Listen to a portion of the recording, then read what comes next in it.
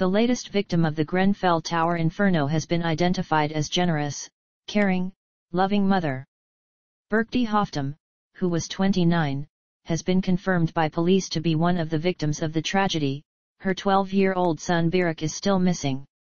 Ms. Haftom, who lived on the 18th floor, was one of at least 80 people to die when the West London Tower block burned down on June 14.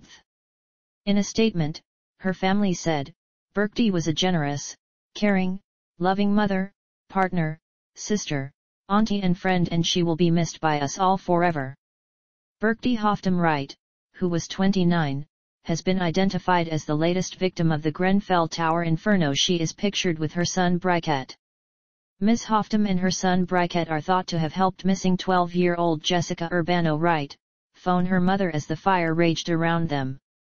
Ms. Haftom and her son Briket are thought to have helped missing 12-year-old Jessica Urbano phone her mother as the fire raged around them.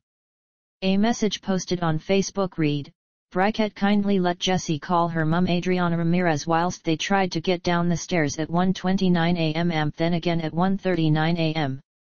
We believe they were all together whilst trying to evacuate Grenfell. Little Jessica screamed down the phone, Mummy, come and get me in a desperate final phone call but the 12-year-old has not been heard from since fire raged through the block she called home on June 14. She is presumed to have died. It comes after police confirmed that a total of 255 people are believed to have escaped the inferno. A consultation period on the probe's terms of reference will be extended by two weeks until July 28, a spokesman for the inquiry confirmed. A consultation period on the probe's terms of reference will be extended by two weeks until July 28, a spokesman for the inquiry confirmed.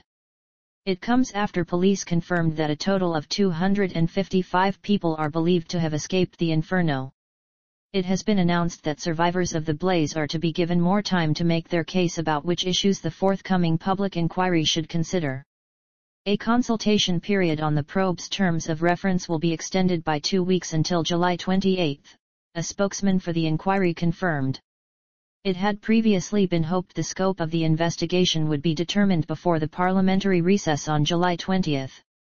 Those touched by the tragedy have expressed concern that the inquiry, led by retired Judge Sir Martin Moore-Bick, would not be broad enough. A consultation period on the probe's terms of reference will be extended by two weeks until July 28, a spokesman for the inquiry confirmed. An inquiry spokesman said, since the announcement of Sir Martin Moore-Bick as chair of the Grenfell Tower Public Inquiry, he and his team have held discussions with many interested parties, in particular survivors of the fire and other residents of the Lancaster West estate. It has become clear from these that there is a broad consensus that those affected need more than the one week originally envisaged for the inquiry's consultation on its terms of reference. We are therefore extending the consultation period until July 28, an extension of two weeks.